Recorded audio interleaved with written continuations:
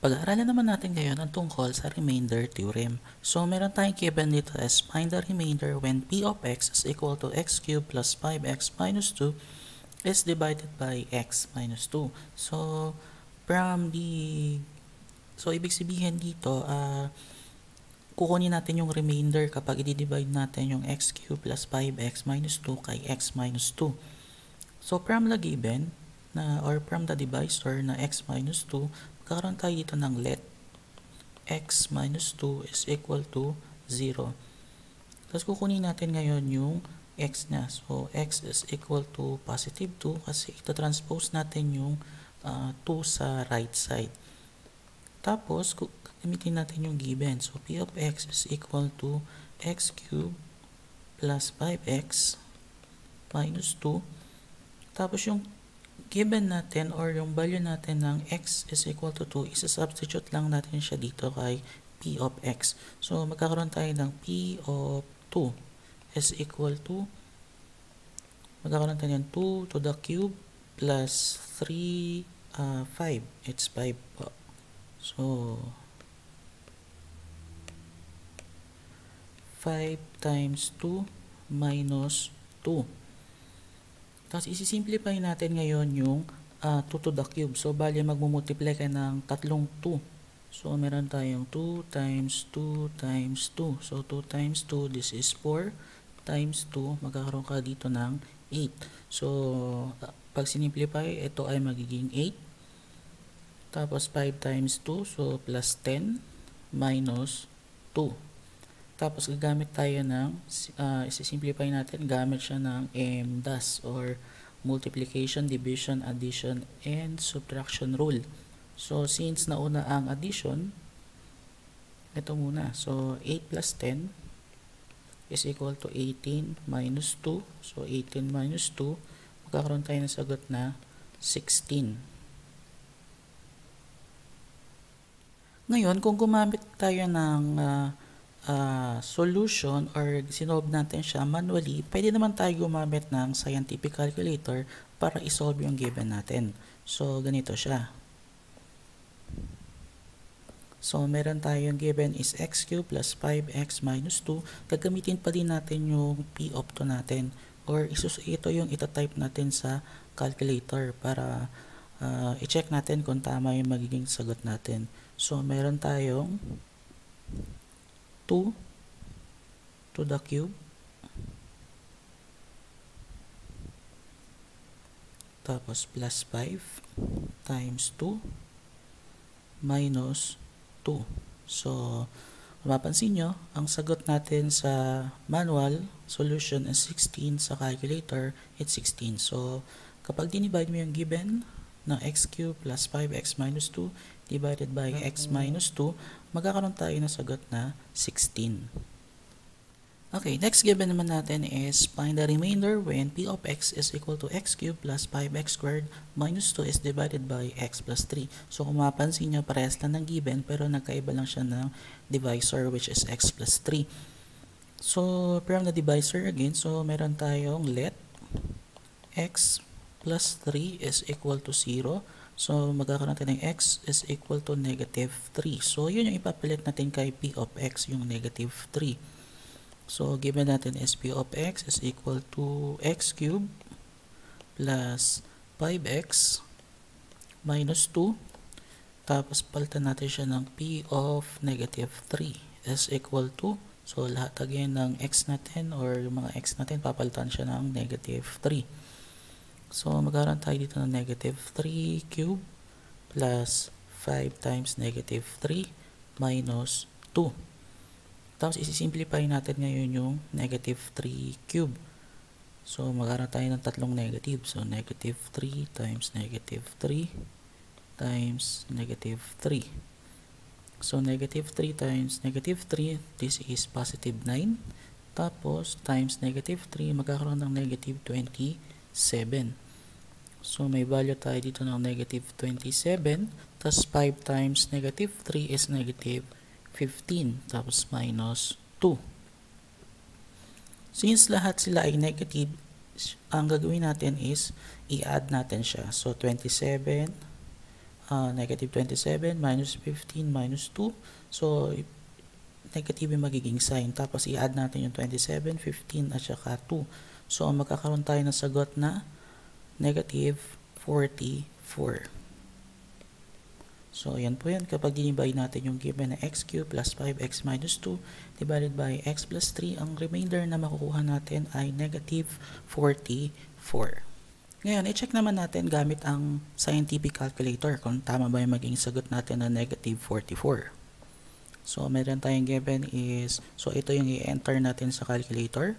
So, meron tayong negative 3 cube tapos, plus 5 times negative 3 minus 2. So, pansin nyo, ang sagot, natin, ang sagot sa calculator ay negative 44. So, tama yung, magig, tama yung solution natin gamit yung manual solution, which is negative 44.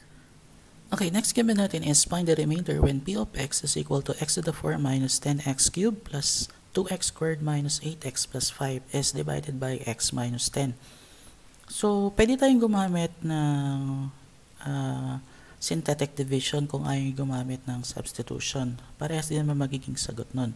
So, kung gagamit tayo ng synthetic division, kukunin natin yung uh, given. So, from the given, x to the 4 or p of, p of x is equal to x to the 4 minus 10x cubed plus 2x squared minus 8x plus 5. Tapos, i-check natin ngayon yung exponent natin yung sequence ng exponent natin kung kompleto ba. So, nagsimula siya sa 4, 3, 2, and 1. So, kunin natin yung kanyang x to the 4, x cubed, x squared, x, and the c which is the constant. So, ang kasama ni x to the 4 ay invisible 1. Ang kasama ni x to the 3 is negative 10. Ang kasama ni x squared ay 2. Ang kasama ni x ay negative 8.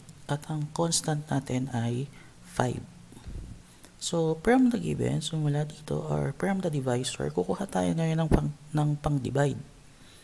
So, meron tayong let x let x minus 10 is equal to 0. Tapos yung x natin is equal to positive 10. So, yun ang ilalagay natin dito as our divisor. Tapos, the same doon sa synthetic division process. So, i pababa natin or bring down yung 1. Tapos, i-multiply natin doon kay 10. So, 1 times 10, magiging sagot dito is 10. Tapos, negative 10 plus 10. Magkakaroon tayo ng sagot na 0. Tapos, yung 0, i-multiply natin siya kay 10 ulit.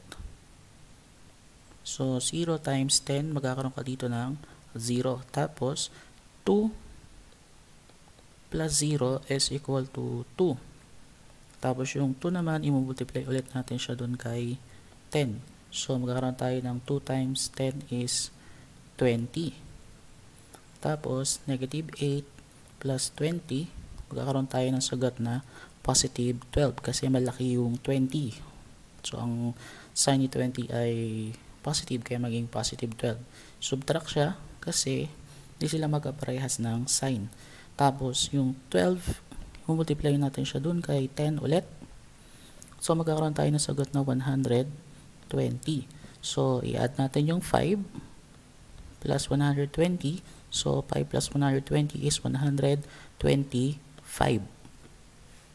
So, ito yung given. So, ito na yung magiging sagot. So, 1, 0, 2, 12, and 25. So, saan natin makukuha yung remainder natin? So, sabi di, uh, from here, x to the 4, minus tayo ng isa. This is x cubed, x squared, x, c, and r. So, ito yun, yung r.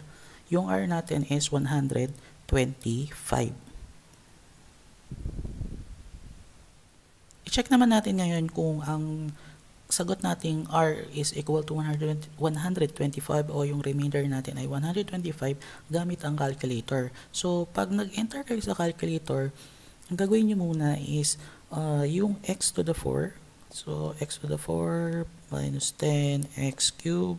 So, from the original given, 2x squared minus 8x plus 5. Yung x na to, yung mga x dito, papalitan natin siya ng positive 10 or 10. So, magkakaroon tayo dito ng 10 to the 4 minus 10 times 10 to the cube plus 2 times 10 squared minus 8 times 10 plus 5.